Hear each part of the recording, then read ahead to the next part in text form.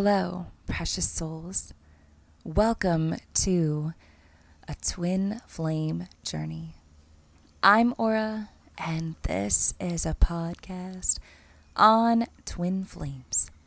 For more videos, don't forget to like, share, and subscribe. Another series has begun on this channel where a question will be randomly selected after submissions. And these submissions can be sent from any listeners, subscribers, and I will be posting the responses right here on this channel. Included in these submissions from viewers can be anywhere from anonymous letters to their twin flame, or even a specific question, and so much more. I'm humble and excited, looking forward to what is in store for this channel as it has come a very long way. So, thank you to all the listeners out there and subscribers. It is very much appreciated. For this week, I have chosen a specific letter someone wrote to their twin flame and wishes to be read on the channel. My dearest Matrix twin flame, I'm writing to you as it is my only means to communicate through this channel. I send you love, unconditional love from far away approximately 3,000 miles away. It has been eight long years in physical separation from you. One of our last interactions was the worst conversation we could have had with one another. I found myself angry with God, with divine, with spirit for making me feel as if they had abandoned me. I felt as though my world was crashing as I watched two important people in my life transition into the spiritual world, and I was left behind. During those crucial moments that I will never forget, I would recall our interactions and our time with one another, but also how alive you made me feel. However, when we first met those eight years ago, my physical body was addicted to alcohol. The whole time, it had this delusion that it was suppressing the pain I had been feeling prior to our physical meeting.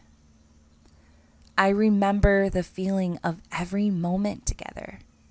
I only pretended as if I didn't remember or I was too hung over because I was afraid of what you would say.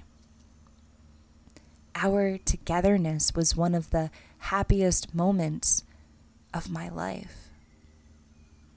One incredible memory stands out when we spent time together on my 25th birthday.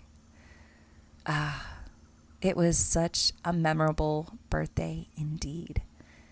Hours and hours of, well, you get the idea. Unfortunately, everything ended as you were transitioning from your military career and into civilian life. I felt as if I couldn't go with you to start again, but mostly that you didn't want me to and Divine had a much bigger plan for the both of us.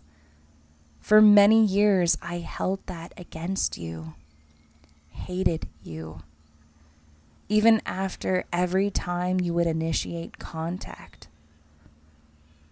Fate had stepped in when I had moved two hours from you many years later. Then, one evening while we were talking about you coming over, I finally heard the words that you should have said those eight years ago. I wanted to be with you when we were together. And then nothing from you. You were silent. You ran from me. Those were words that I intuitively knew deeply, but never heard from you directly. You then left and moved to a beach city 12 hours away. In the past year, we attempted to reunite with little success because it was almost as if both our internal fears would come to life. We were going to meet in the beach city you had moved to when I drove there for a visit during a long weekend that I had off from work. When I didn't hear back from you after going for a swim at the beach, I had decided to leave early from my hotel where I was staying. It had felt like the last time you left when you were getting out of the military and moving back home. It felt as if I was abandoned, unappreciated, and as if all the things that I was intuitively feeling about you were not real. But it was real. Everything about it was real, and I'll never forget it. For all the words that were never said in the past, for all the time spent apart from each other I want to simply say that I never forgot about you. I never forgot how much love we shared that summer we spent together eight years ago, or how you think that I never cared or was quote unquote too drunk to remember anything. I remember it all. I'll always love you. Until we meet again, love your spiritual twin flame. So, this concludes this episode this week. I hope you enjoyed this letter from an anonymous twin. Until next time, I'm Aura, and this is a twin flame journey.